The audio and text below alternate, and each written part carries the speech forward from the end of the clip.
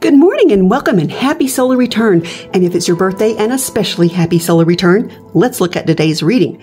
Ooh, we're headed to the future. What are we going to do? Because bam, we're supposed to look at all these procession and secession and long line of tough things coming our way.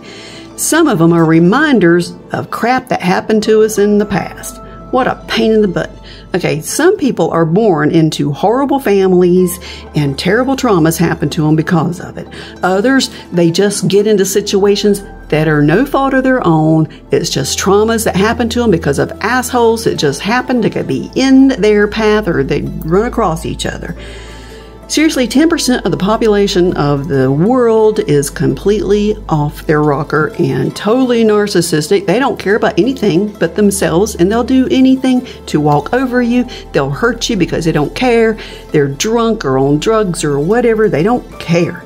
It's inevitable that you're going to meet up with these people unless you live on an island all your own and that comes with a certain amount of mental problems all its own you can't live as an island or on an island all your life that's, that's how it is so what are we supposed to do all right part of it's luck part of it's your family and part of it is ugh, bad decisions okay we're going to have to look at the luck part. You can't change the luck part. How about your family? Guess what? You don't have to deal with crap from your family. They're people.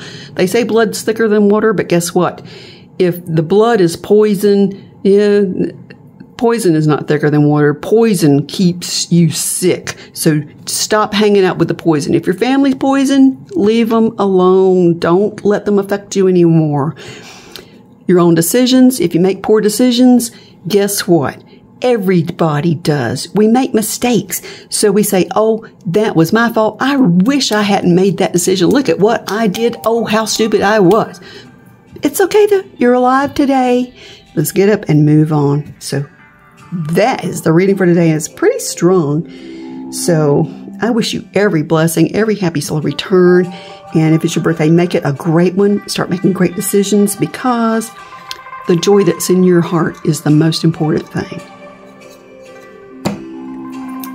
every blessing.